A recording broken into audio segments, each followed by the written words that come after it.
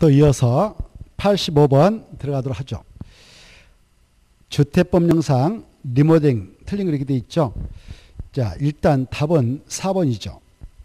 어, 4번 보시면 수직 증축형 리모델링 대상이 되는 건축물의 기존 층수가 15층 이상이면 최대 몇 개 층까지 증축이 가능한가? 5개 층은 아니고요.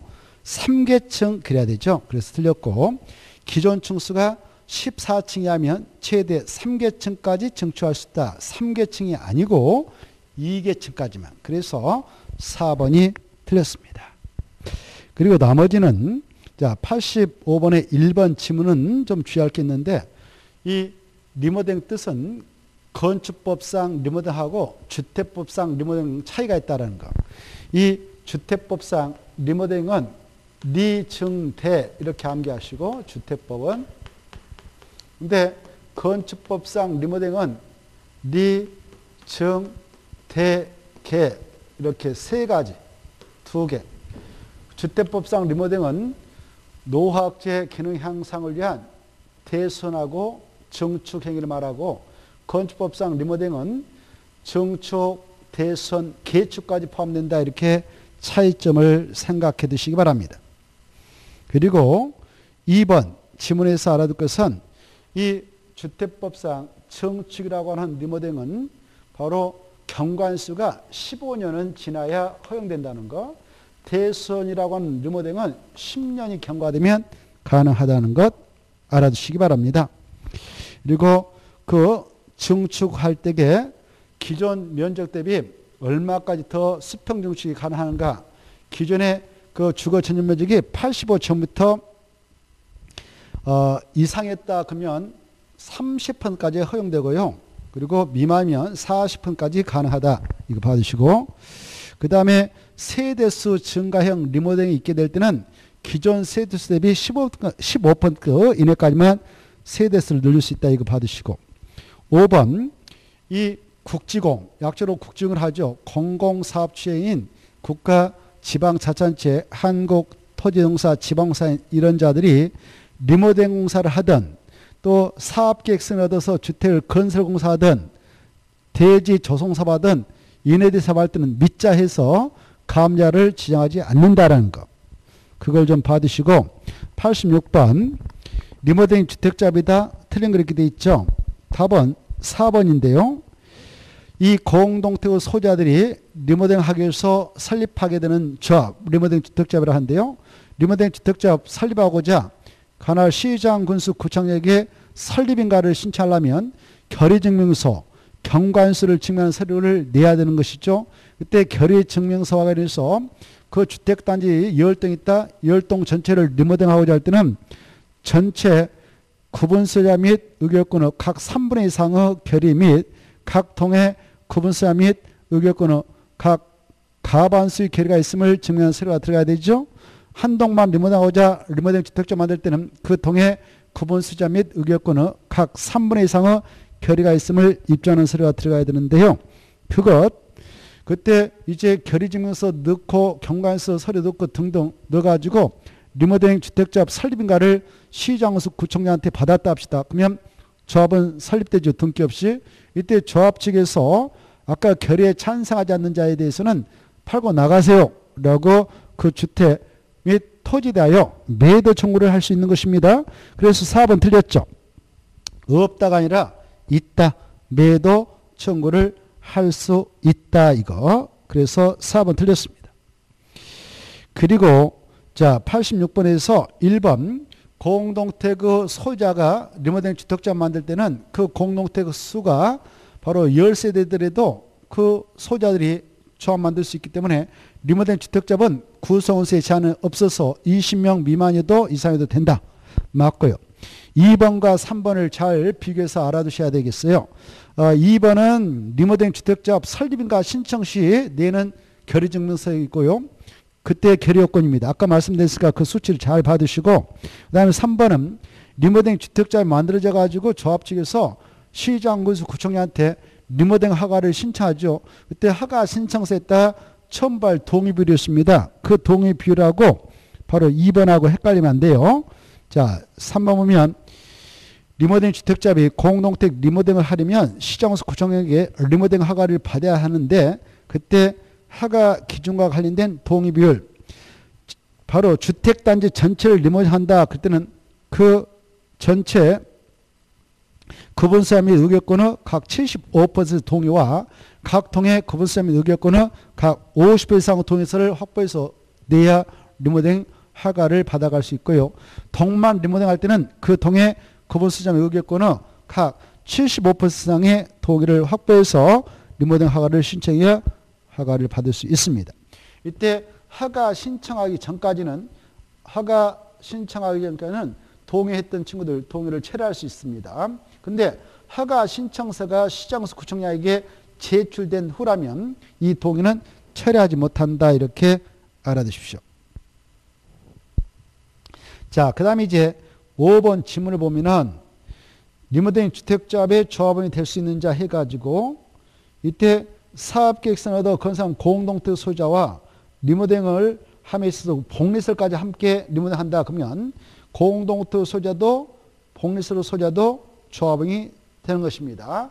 이때 각 그 세대의 소유권이 공유되어 있다면 공유자 전체가 조합원으로 인정하는 것 아니고 인정되는 거 아니고 그 공유자를 대표하는 한 명만 조합원 지가 부여된다는 것. 5번은 그런 말이니까 읽어 두십시오. 자, 그 다음에 87번. 이 87번하고 87-1번, 87-2번은 주택법상 조합에 관한 내용으로서 이 조합은 꼭한 문제가 출제가 됩니다. 특히 여러분께서는 이번에 개정이 되어서 들어왔던 내용들도 관심 있게 잘 봐두셔야 되기 때문에 바로 그 지문들 하나하나를 꼼꼼하게 봐두십시오. 꼭한 문제 나옵니다. 여기에 있는 지문들을 잘 소화하시면 본시험에서 맞출 수 있으라 생각합니다. 87번 주택법상 주택조합 틀린 그렇게 되어 있죠. 답은 5번입니다. 5번 보면 이 조합원이었던 자가 사망, 탈퇴 등으로 조합원 수가 주택건설 예정세 대수의 50% 미만이 됐다. 조합원이 무작위로 판명되어 자격을 상실했다. 사업계획 승 과정에서 주택건설 예정세 대수가 변경되어 조합원 수가 변경된 세대수 50% 미만이 됐다. 이런 경우 조합원 추가 모집이 가능하죠.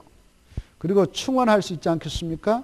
이때 추가 모집하는 자와 충원된 자에 대한 조합원 자격권 여부 판단. 이것은 언제 기준하냐? 설립인가 신청일 그거 맞습니다. 조합 설립인가 신청일 기준에서 판단해요. 그런데 이 경우 조합원의 사망으로 조합원지를 상속받은 자, 이 상속받은 자는 조합원 자격권을 필요로 하지 않습니다. 그래서 필요로 한다 할 때 한다가 틀렸죠. 한다를 하지 아니한다.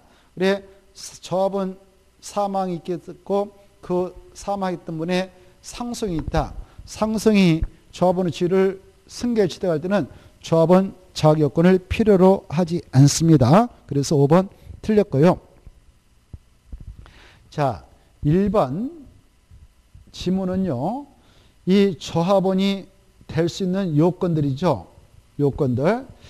그 보면 조합설 민가 신청일 가로 건너뛰어서 신청일로부터 입주 가능일까지 그 조합주택의 입주 가능일까지 무주택 세대주와 85점트 이하인 주택 한 채 하나여 소유한 세대주의 세대 세대주는 지역 주택자배 또 직장 주택자배 구성원이 될 수 있죠.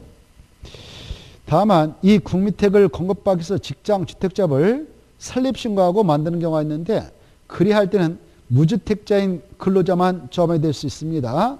맞고요. 2번 이 지역 주택자 만들 때는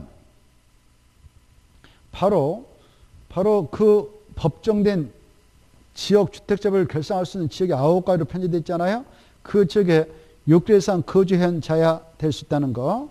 그다음에 3번 이 가택자 근로자가 주택 마련하기 위해서 직장 주택자를 설립할 때에 시장에서 구청에서 설립인가 받는 경우가 있죠. 이때는 바로 주택을 건설해서 마련하고자 할 때는 설립하였죠. 그러나 군택을 공박해서 직장 주택자를 설립할 때는 신강화 된다는 것 맞고 4번 이 주택조합이 설립인가 받으면 만들어지죠. 그때 인가 받고 나서 어, 이 지역하고 직장 주택조합의 경우는 늦어도 2년에 사업계획 신청하고 리모델 주택조합은 2년에 리모델 허가를 신청하도록 되어 있습니다. 그래서 2년이란 말을 좀 기억해 두시기 바랍니다. 그 다음에 이 지역하고 직장 주택조합은 설립인가를 받은 후에는 원칙으로 조합원을 신규로 가입해 할수 없고 교체할 수도 없습니다. 무슨 조합과 무슨 조합만 이런 기준을 받느냐?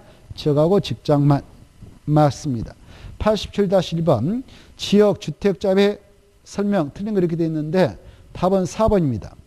이 4번이 이번에 개정을 통해서 우리 이 주택법에 들어왔으니까 꼭 시험에 나올 것이다 생각하시고 정리 잘 해 두셔야 돼요. 이 주택을 마련하기 위하여 지역 주택잡을 설립하고자 할 때 설립인가를 시장소 구청장한테 신청함에 있어서는 설립인가 신청서에다가 주택건설 대지단 사용권을 이 정도 확보했습니다. 그리고 그 토지 소유권도 이 정도 확보했습니다. 라고 두 가구권을 모두 준비해서 가야 됩니다. 동소권입니다. 그때 사용권은 80% 이상, 대지 토지에 대한 소유권은 15% 이상. 이 두 가구권을 다 충족해야 리모델링, 아, 죄송, 그 지역 주택잡의 설립인가를 받을 수 있거든요. 그래서 지역 주택잡 설립인가를 받으려면 권원 사용권은 80, 그거 맞죠? 대지 소유권 15% 맞죠? 근데 뭐가 틀렸냐? 동시권입니다. 그거 보면 85% 사용권을 확보하거나 이렇게 돼 있는데 확보하거나 이게 틀렸어요. 하거나가 아니라 하고 하거나 그러면 선택적 요건 되거든요. 여기 80이 됐든 15가 됐든 둘 중에 하나 요건만 충족된다 이런 말인데 그래서 하거나가 틀렸어요. 하고 그래야 돼요. 동시효건입니다. 이것도 충족되고 이것도 충족돼야 된다. 하거나가 아니라 하고 꼭 알아주시고 이 4번의 숫자를 꼭 암기하셔야 돼요. 사용권은 80% 이상, 소유권 확보는 15% 이상, 동시효건이다. 그리고 1번, 1번도 이번에 개정이 돼가지고 바로 좀 간식에 받으셔야 하는데 이 주택법상 그 주택잡의 여러 가지 업무를 대행하여서 처리할 수 있는 자들이 있죠. 그런 자들이 여러 명 있는데 그 중에 우리 공인증사법에 따른 중개업자들 그 업무를 대행해서 처리해 줄 수 있고 돈 벌 수 있어요. 그때 자본금이 좀 있어야 됩니다. 어, 이 법인 만들어서 중개업자가 됐다 그러면 자본 얼마 있어야 된가? 개인명으로 이 중개업자가 되었다면 자본 얼마 있어야 된가? 법인은 5억 원, 개인은 10억 원 있어야 업무를 대행해 나갈 수 있다라는 거. 그래서 그 수치를 꼭 암기하시고 그 다음에 2번, 3번은 끝들이 있다, 있다가 중요하다 꼭 아시고 5번 마지막에 효력을 상실하지 않는다 이런 것들은 중요한 지문이니까 잘 새겨두시기 바랍니다. 87-2번 보죠. 주택법령상 주택자비다 옳은 것. 자, 이것도 이번에 개정을 통해서 들어온 것들이 많습니다. 그래서 잘 봐두셔야 되겠고 1번, 2번은 틀렸고 3번은 맞습니다. 답은 3번입니다. 3번 보면 지역주택잡의 지역주택잡은 설립인가 당시의 사업계획서상 주택건설 예정 세대수 그때 주택건설 예정 세대수라고 하는 것은 임대택으로 건설 공급하는 세대수는 제합니다. 그런 세대수의 세대수의 바로 거기 한번 그 가로가 하나 지워버리세요. 가로 하나를. 가로 하나 그 설립인가를 받을 당시에 사업계획서상 주택건설 예정세대수를 말하되 법 20조에 따라 주택건설 임대택 건설하는 공급하는 세대수 제한된다. 이와 같다. 그거 두 번 반복되고 있는데 하나는 그냥 지워버리세요. 자, 그래 아무튼 임대택으로 건설 공급하는 세대수 제한다는 거. 그리고 주택건설 예정세대수 50호 이상으로 저번을 구성하되 바로 20명 이상의 저분을 구성한다 이거 꼭 알아셔야 돼요. 암기하고 음, 맞다. 이 3번 맞고. 그럼 1번이 왜 틀렸는가? 1번은 1년 1년을 일단 2년으로 수정하시고 1년 1년이 아니라 2입니다. 1번 주택자의 발기는 조합원 모집 신고를 해야 합니다. 시장호수 고정할 때 신고해야 하는데 신고하고 신고가 수리되면 그때부터 모집에 들어갈 수 있어요. 이때 모집 신고가 수리됐다면 그날부터 늦어도 몇 년이 될까지 조합 설립 인가를 받아야 되는가 2년 내까지 받아야 되고 받지 못하는 경우는 그 신고가 수리된 날부터 1년이 된 날부터 3개월 이내에 그거 1년을 2년으로 수정을 했죠. 2년이 된 날부터 3개월 내 총회 개최가지고 조합 사업 종교부를 최종 결정해야 됩니다. 그래서 2년, 2년 수정해서 정리하시고 2번은요. 2년, 2년을 주시고 3년, 3년을 수정하십시오. 주택조합은 설립인가원을 받아놨다면 그날부터 늦어도 어, 몇 년 이내 사업계획서를 받아내야 되냐? 3년입니다. 만약 3년이 된 날까지 사업계획서를 받지 못하는 경우 바로 해산여부를 결정해 들어야 돼요. 그래서 3년이 된 날부터 3개월에 총회에 있어서 해산 여부를 결정하게 됩니다. 2년, 2년이라 3년이다. 저합설임과 받았다면 3년이 된 날까지는 사업계획서를 받아가라 그 말이죠. 받지 못하면 해산 여부를 결정해라 이렇게 돼 있죠. 그 다음에 4번은 왜 틀렸는가? 4번은 10%가 틀렸습니다. 50%입니다. 4번은 10%가 아니라 50% 50%고 그래 지역 주택자 직장 주택자의 설립가를 받기 위하여 조합원을 모집하려는 자는 해당 주택건설 대지의 바로 50%가 아니라 10%가 아니라 50% 수정하십시오. 50%에 해당하는 토지의 사용권을 확보하여 관할 시장원수 구청장한테 신고하고 공개 모집 방법으로 조합원을 모집해야 되죠. 자, 그래서 10을 50으로 수정하시. 이게 이번에 법 개정을 통해서 추가됐습니다. 5번은요. 3년간 이렇게 돼 있잖아요. 그거 3을 5년간으로 수정하십시오. 이것도 이번에 법 개정을 통해서 들어왔습니다. 자, 지역 직장 주택자의 조합원 모집 주체는 그 주택자 가입에 관한 계약서를 작성해서요. 바로 그걸 가입 신청자에게 설명을 해야 되죠. 계약서에 들어있는 여러 가지 사항을 가입 신청자가 이해할 수 있도록 설명을 할 의무가 있고요. 설명한 내용을 가입 신청자 이해하였음을 바로 조합 가입 계약 설명 확인서에다가 신청자의 가입 신청자 확인을 받아서 그걸 복사하고 복사본은 자기가 가지고 있고 그것은 신청자에 교부해 줍니다. 이때 조합원 모집 주체는 그 조합 계약 가입 조합 가입 계약 설명서 확인 사본을 복사를 5년간 보관하도록 됐다는 그래서 3년이 틀렸습니다. 5년이다 이거.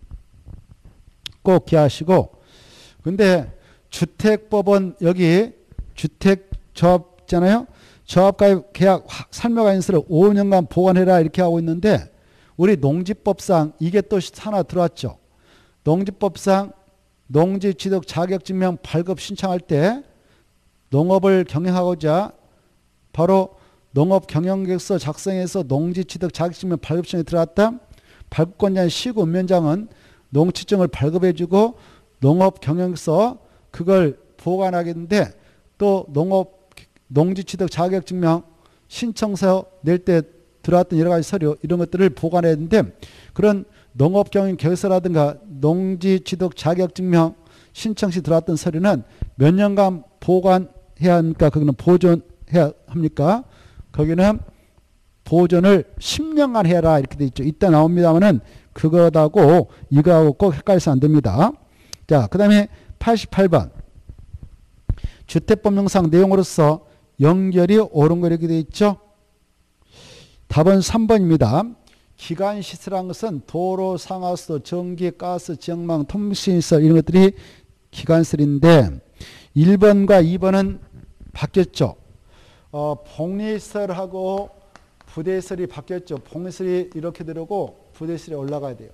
그래 복리시설은 주택단지 안에 들어가는 어린노터, 유치원, 경로당, 주민운동시설, 근린생활시설 다섯 가지는 꼭 암기하시고 그 다음에 부대에서는 주택에 딸린 주택단지 안에 도로, 관리사무소, 경로당, 아니, 죄송해요. 경비실, 경비실, 그 다음에 관리사무소, 담장, 그 다음에 건축설비 이런 것들이 바로 부대세다 이거 꼭좀 봐두시고 그 다음에 4번 왜 틀렸는가? 다중주택이 틀렸죠. 주택은 바로 다중주택이 아니라 다중생활설이죠. 다중생활설.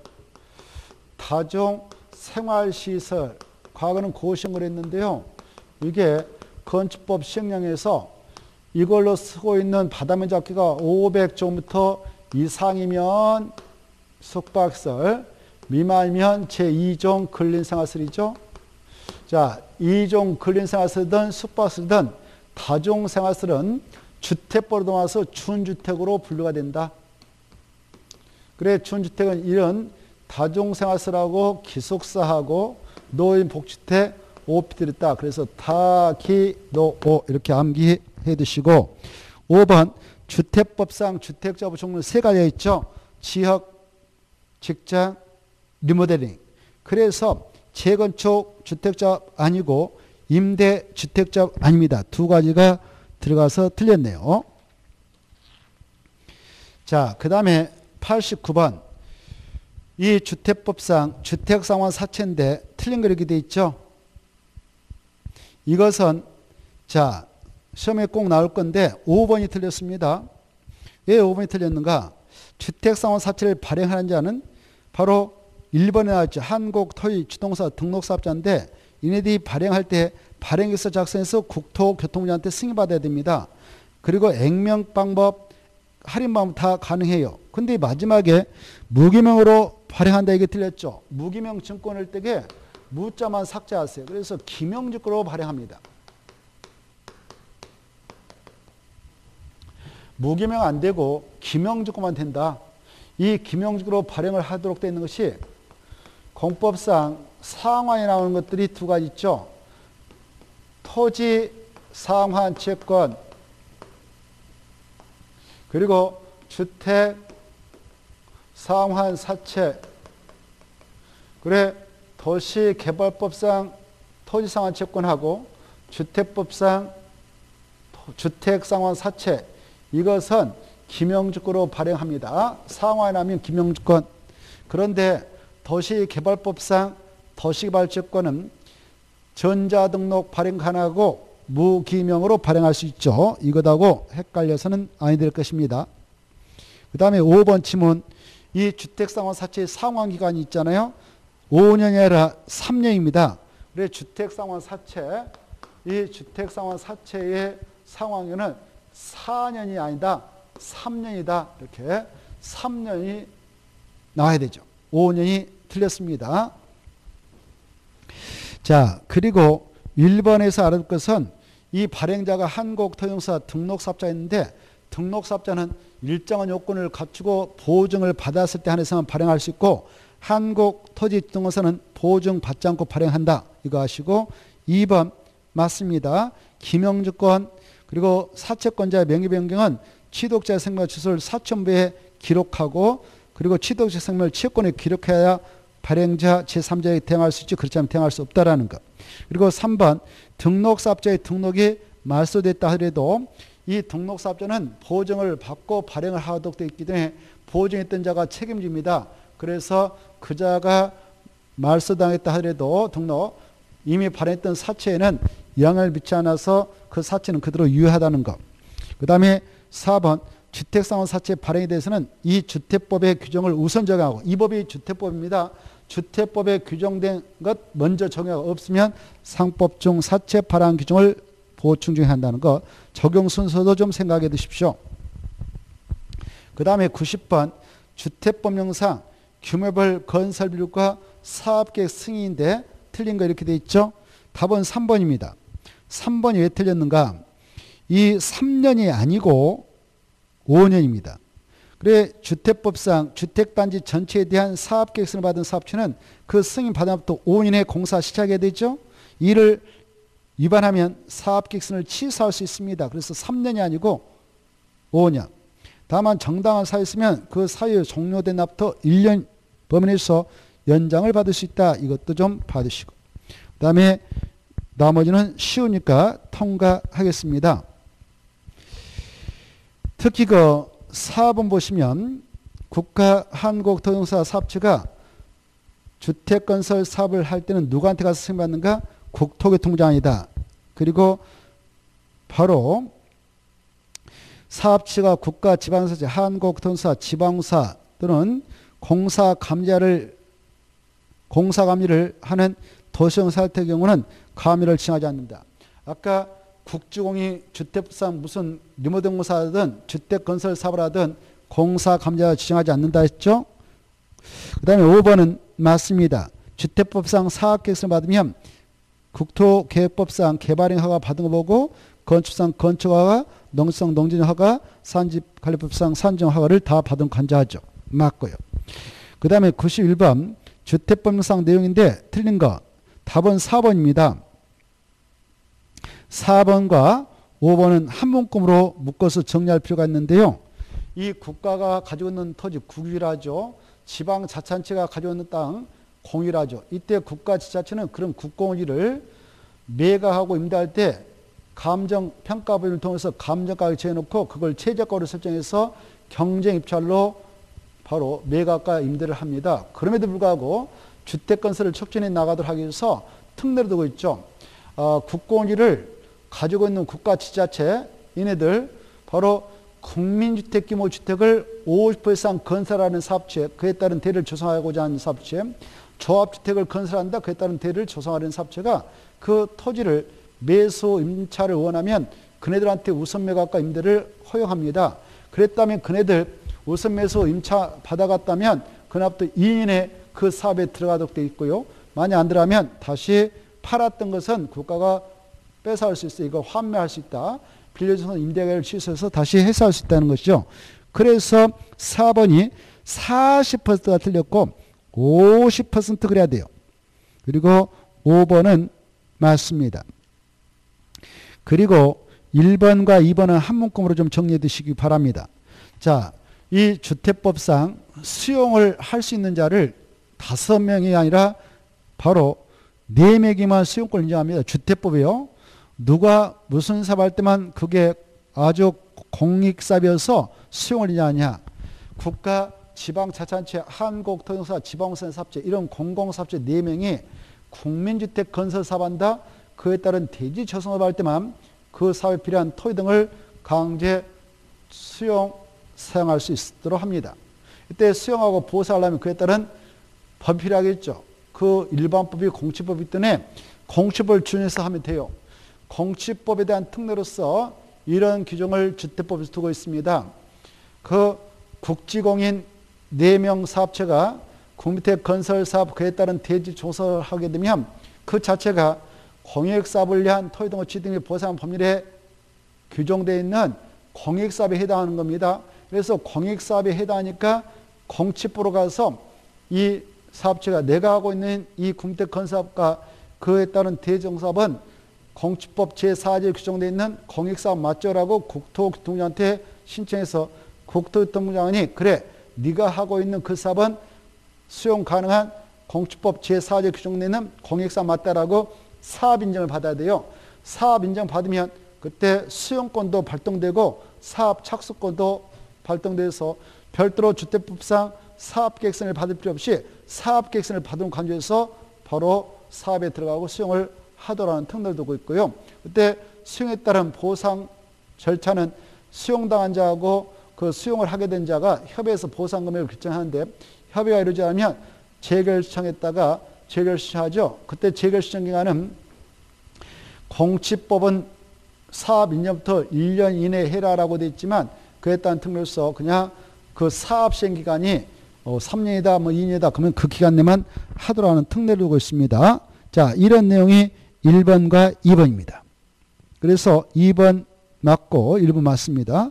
3번 이 사용검사권자는 사용검사 신청이 들어가면 10원에 사용검사를 해야 하고 특히 공동태 경우는 어, 한동 한동 공사 끝나면 동별로 사용검사를 신청해서 사용검사 받아 사용할 수 있고 임시 사용 신청해서 임시 사용 승인을 받아 사용할 수 있고 특히 공동택은 그 세대별로 공사 완료되면 임시 사용 승인을 받아갈 수 있다라는 거.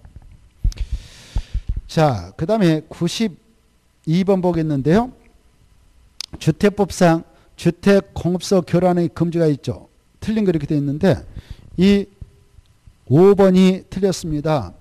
주택 공급 질서 교란 행위를 해서 위반자가 됐다 그러면 그자는 3년 이하의 징역 또는 3천만 원을 범죄하죠. 그래서 2년 2천 할 때 이 일을 3, 3으로 수정하면 됩니다. 3, 3. 그런데 그 위반된 행위로 인하여 얻었던 이익이 2천만 원 합시다. 2천만 원에 3배하면 6천만 원이죠. 이렇게 위반된 행위를 해가지고 얻었던 이익이 있었다. 그 이익의 3배에 상당하는 금액이 3천만 원을 초과했다 그러면 3천만 원 벌금을 내게 하는 게 아니고 그 3배에 상당하는 금액인 6천만 원 상당한 금액의 벌금으로 처벌해도 합당하도록 법을 개정했다는 거 꼭 알으시고 1번 지문하고 2번 지문을 연결해서 잘 아셔야 돼요. 이때 주택법상 상속하고 저당의 경우를 제한 양도, 양수 등이 금지되고 있는 정서지 이것들을 꼭 암기해야 되는데 입주자 저축증서 입주자 저축증서는 주택 상환 주택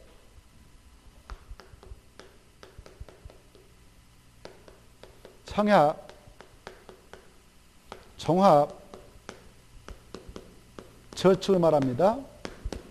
그래서 입주자 저축증서인 주택 청약 종합저축 증서라든가 주택 상환 사채라든가 지역 직장 주택자의 지위라든가 저번 지위라든가 그다음에 시장에서 구청에 발행한 무허가 건물 확인서 건물 철거 확인서 철거 예정 증명서 이런 것들 그리고 공공사업 시행으로 인하여 주택을 공부할 수 있는 지 이주 대책 대상자 이런 증서 지를 함부로 매매와 증여와 알선과 광고행위를 못하도록 규제하고 있죠. 다만 상속과 저당은 허용됩니다. 그 내용이 2번 나오죠. 그래서 2번하고 1번을 좀 받으시고 그 다음에 이제 3번 4번 위반자 된 조티 나오죠. 국토교통부장 사업체는 이 위반을 한 자에 대해서는 바로 주택을 공급 신청할 수 있는 지위를 무혈할 수 있고 이미 체결된 공급계약은 있다는 것. 그리고 사업체가 위반자에게 받았던 법정된 돈을 지급하면 사업자가 그 주택을 취득한 한주하고 그리고 입주자에게 돈 주고 퇴거도 명할 수 있고요. 그리고 국토교통부장은 위반자에 대하여 바로 주택법상 주택을 공급받을 수 있는 입주 자격을 10년을 범위에서 제한할 수 있다는 것도 생각해 두시기 바랍니다. 그 다음에 93번 볼까요? 자, 주택법상 사용 검사의 매도 청문대 오른그리게 되어 있죠. 일단 답은 2번입니다. 이 주택법상 모 사업 주체가 천세대 아파트를 건설해서 분양하고 나갔습니다. 그래 이제 분양받았던 사람들이 소유권 넘겨받아서 그 단지 와서 살게 되는데요. 그네들 주택의 소유자가 되겠죠. 주택의 소유자가 천 명이 있다 합시다. 그 단지에. 근데 갑자기 그 주택 단지 안에 청년의 누군가 땅을 가지고 계신 분이 내가 소유권 이등기를 해준 적이 없는데 무단으로 이렇게 소유권이 넘어갔습니다. 그래서 그걸 소송을 제기해서 소유권 이등기 말소송을 제기해서 승소해서 그 주택 단지에 있는 땅을 찾았네요. 그랬다면 그 실소유자가 권리 행사하게 되면 거기에 살고 계신 주택의 소유자들은 많은 불편함을 느끼게 되어 있죠.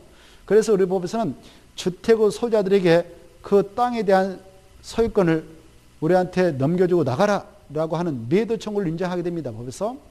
이때 매도 청구를 인정받기 위한 요건들이 있어요. 첫째, 그 회복했던 토지 면적이 그 주택단지 전체 면적 대비 100분의 5 미만일 것, 즉 5% 미만이어야 되고 그리고 이 자에게 팔고 나가라라고 매도 청구를 하려면은 그자가 소유권의 해반합부터 이인의 매도 어 청구 사 표시가 송달되도록 해야 되고요. 그리고 주택 소유자 천명이 다 소송에 휘말리면 안 되니까 대표자를 선정해서 소송을 제기하게 되는데 그때 대표자는 주택 소유자 4분의 3 동의서가 필요하다는 거. 그래서 이제 소송을 해서 판결을 났다면 그 판결력은 아까 대표자 선정할 때 찬성 때 반대했던 주택 소유자 천명에 똑같이 효력이 미친다는 것. 그리고 이 소송에 따라 들어갔던 모든 비용은 그걸 팔고 나갔던 사업 측에 구상할 수 있다는 것, 주택 소유자들이. 그리고 매도 청구를 할 때는 시가대로 팔고 나가세요라고 한다는 거. 이 정도를 좀 눈여겨보시고 한번 풀어볼까요? 옳은 건데요. 답은 2번입니다.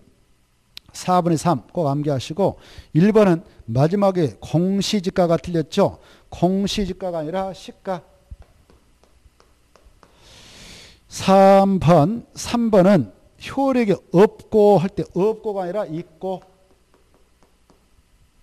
그 다음에 마지막 구상할 수 없다가 아니라 있다.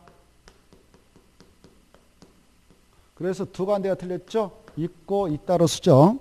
그 다음에 4번은 10이 아니라 5, 100분의 5, 꼭 암기. 5번은 3년이 아니라 2년. 자, 94번 보겠는데 이 주택법령상 전매 제한 중인 주택이라 하더라도 사업 주체의 동의를 받은 경우로서 주택의 전매가 불가피하게 허용되는 사유들이 있죠. 아닌가 이렇게 됐는데 1번 틀렸습니다. 왜 틀렸냐? 이 세대원이 엄마, 아빠, 딸, 아들로 됐다 합시다. 그때 바로 아빠 명의로 지금 분양을 받아가지고 전매 제한을 받고 있는데 네 명 중 누군가에게 지금 근무상, 생업상 사정이 질병 치료자, 취약자, 결혼 문제 때문에 이사를 해야 되겠요 그때 네 명 세돈 전원이 이사를 갈 때 수도권으로 가겠습니다. 그러면 사업자한테 동의 못 받아요. 수도권 외거적으로 가겠습니다. 그러면 그때 동의 받을 수 있어요. 그래서 수도권으로 이전한 경우는 안 되고요. 수도권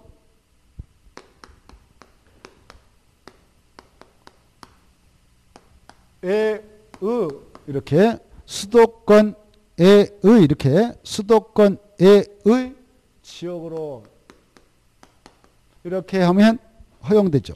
수도권으로 갈 때는 안 되고요. 수도권이 아닌 지역으로 이전하겠다 그러면 가능합니다. 이때 수도권은 서울특별시, 인천광시, 경기도에 있는 31개 시군을 말합니다. 수도권 정비계획법에 수도권의 정의가 그렇게 규정되어 있죠. 자, 그 다음에 1번 그래서 틀렸고요. 2번, 3번, 4번, 5번은 맞습니다. 상소로 지도한 주택이 있습니다. 그때 세돈 전원이 이사 가겠다. 또 세돈 전원이 꼭 전원이 가야 돼요. 회의로 유지하겠다. 전원이 2년 이상 치료한다. 그때도 되고요. 이혼으로 그 주택을 배우자한테 준다. 그리고 일부를 배우자한테 증여한다. 그때는 가능합니다. 95번 이 주택법상 어, 저당권 설정 등의 제한의 설명인데요. 매출친 일정 기간 동안으로 옳은 거 이렇게 돼 있죠. 사업 추진은 주택건설 사업에 하여 건설된 주택 및 대지 대하여 일정 기간 동안 입주 예정자 동의 없이는 다음인 그 주택 대지단 저당권 가등기 담보권 전세권 저당 지상권 등기되는 부동산 자금을 설정해서도 안 되고 매매 증여를 통해 처분해서도 안 되죠. 이때 입주 예정자의 동의 없이 이런 행위를 해서는 안 되는 기간은 언제부터 언제까지냐? 1번입니다. 어, 그 사업체가 주택자 변경을 빼고 나머지 사업체라면 입주자 모집 공고 승인 신청일 이후부터 바로 그 입주 예정자가 그 주택 대지단 수익권을 이해등기 신청할 수 있는 날 이후 60일까지 기간 동안 다만 주택조합이 사업주시면 바로 사업계획 승인 신청 이후부터 입주 예정자가 그 주택 및 대지단 수익권 이전 등기를 신청할 수 있는 날 이후 60일까지 기간 동안 하지 못하도록 규정합니다. 그래서 1번이 답이죠. 96번 이것은 농지법인데요. 농지법의 적용 대상 농지에서 죄되는 것. 그 말은 농지가 아닌가 찾아라 이겁니다. 1번 농지가 됩니다. 2번도 농지, 특히 2번에서 적용 목주로 어, 간상용 수목 그 묘목을 지배하고 있는 토지가 있다. 적용용 수목과 그 묘목을 지배하고 있는 토지가 있다. 적용 목적으로 식사하고 있는 토지가 있다면 그 농지가 아니라는 것도 꼭 받으시고 그 다음에 어 3번 계속적으로 농작물 경작을 이용해온 기간이 4년인 지목이 잡종기가 있다. 이 지목이 전도, 답도, 가손도 아닌 토지인데 농작물 경작 당연수 재배관이 계속적으로 3년 이상 했다 그러면 농지가 되죠. 다만 임야만 빼고요. 임야는 설령 그 재배관이 또 경작기간 3년 이상이라도 산지갑상 산지정 허가를 거치 않냐고 그렇게 이용되고 있다면 농지가 아닙니다. 4번 농지고요. 5번은 농지가 아니죠. 초지법에 하여 조성된 토지, 농지 절대 아니다. 공간 정보의 구축 및 관리 등에 관한 법률에 의한 지목이 임야인 토로서 산지 관리법 따라 산지 전용 허가를 거치지 아니하고 단형생 단형생으로 수정하십시오. 오타 나왔는데 단형생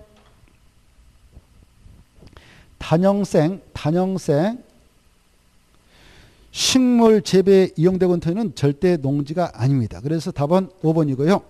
97번 농지법상 농업인에 해당하지 않는 것 답은 5번이죠. 1번, 2번, 3번, 4번 다 농업인입니다. 5번은요. 100만 원이면 안 되고요. 120만 원 그래야 되죠. 농업 경영을 통한 농산물 연간 판매액이 120만 원 이상이 돼야 농업인으로 주가 인정된다는 거. 그리고 1번부터 이제 금방 5번을 수정해 가지고 1번부터 5번까지가 농업인에 해당합니다. 농업인에 해당하기 위한 요건은 그와 같은데 그 중 어느 하나라도 요건이 충족되면 농업이 된다는 거.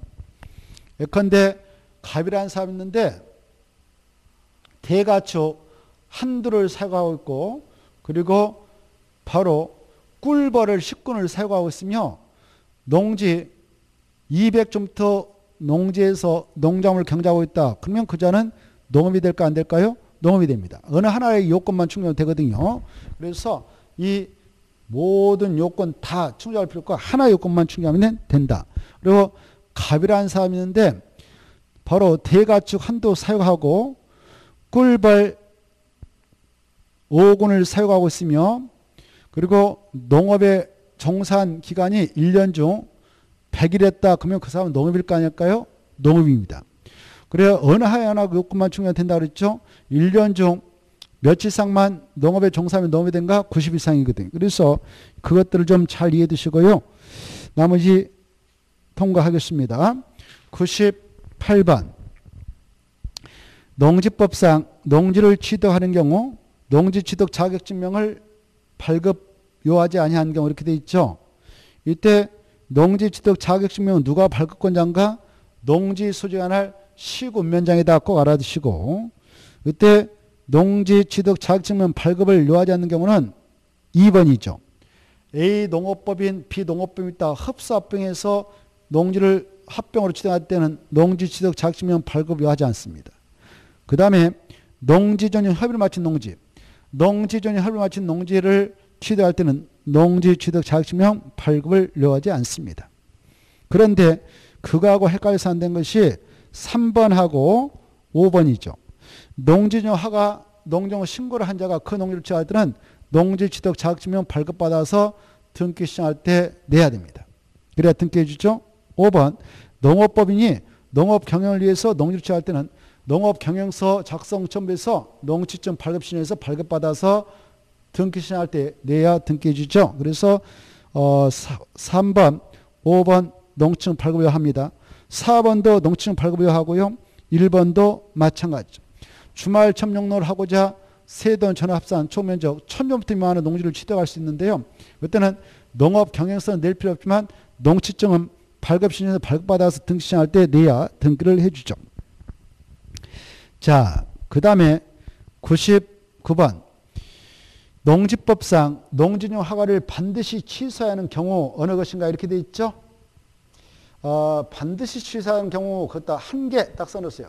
한 개밖에 없습니다.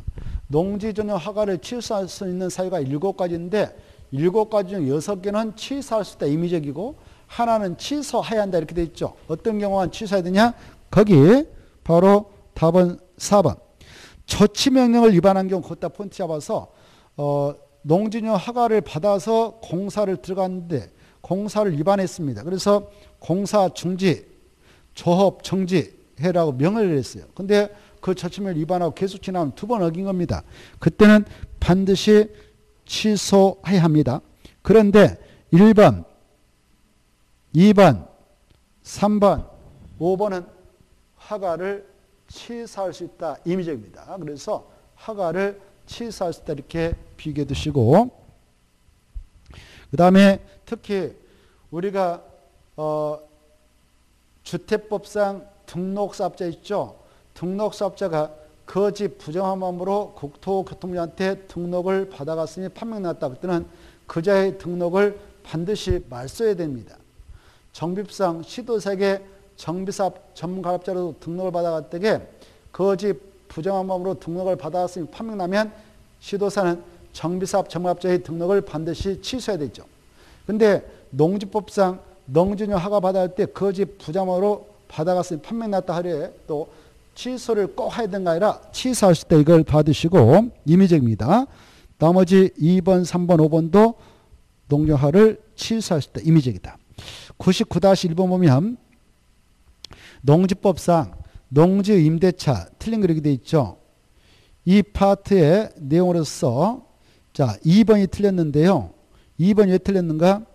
이 농지법상 농지의 임대차 합법적으로 하게 될 때 원칙은 몇 년 이상으로 해야 되는가 임대차 기간을 3년 이상으로 해야 됩니다. 다만 외주로 단형생 식물 재비로 또 시설 농업을 하겠다. 어, 그랬다면 그때는 5년 이상을 하죠. 그래서 2번이 틀렸습니다. 2년, 2년이 아니라 만약 임대차 기간이 3년 이상해야 되는데 기간을 정함이었거나 3년보다 작게 났다 그러면 3년을 약정된 거 간주되죠. 또 아까 5년, 5년짜리 있었죠? 그게 바로 바로 100번에 100번에 2번 지문 나옵니다. 100번에 2번 지문이 이번에 박혜정을 통해서 신설됐으니까 간신히 받으셔야 돼요. 100번의 지문 입어보면 농지 임차인이 단형생 식물 재비로 이용하는 토지, 농지 임차인이 단형 농작물로 재배 시설로서 고정실, 온실, 비닐하우스를 설치하는 농지는 몇 년 이상 임대차 기간이 보장돼야 된가? 5년 이상. 이것이 아니면 3년 이상이다 이겁니다. 다만 어, 자격 농지를 농림축산식물원이 인정하는 이무적차 임대가 이루어질 때는 8개월 이내로 임대하고 다시 해소하죠. 그게 1번 지문입니다. 99번에 99번엔 1-1번에 그런 내용이 나오죠. 그거 받으시고 2번이 틀렸어요.